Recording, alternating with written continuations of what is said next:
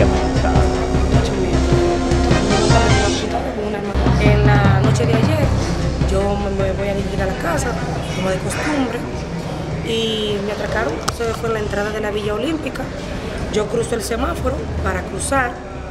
Entro por la calle que va, la principal, que va hacia la Villa Olímpica, que vivo en la Javiera.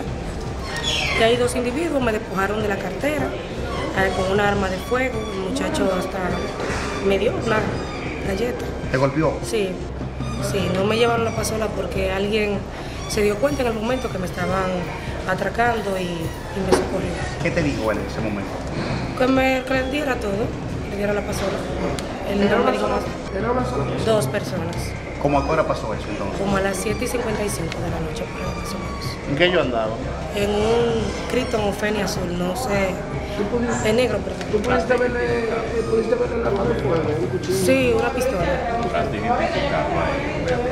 Ah, yo sí puedo, si lo veo en la calle, puedo identificarlo. En ese, en ese momento, ¿qué puedes tú decirnos ahí lo que tú viviste, qué sentiste, qué quisiste hacer? Miedo, yo sentí muchísimo miedo. Inmediatamente él se desmontó del moto, no dijo más nada, solamente me dijo desmontate y, y me dio de este lado. de la Son recuerdos los atracos en esa zona. Ah, sí, porque no hay luz, está muy oscuro. ¿Cuántos eran? Dos. ¿Qué pedirle a las autoridades en este caso? Nada, que pongan por lo menos una bombilla y que se la, los patrullas sean más frecuentes por esa zona, porque es muy oscuro. ¿Qué tú haces, chica? ¿Qué tú te dedicas? Yo soy cajero ¿Cajera de qué? en Master Pollo Whisky.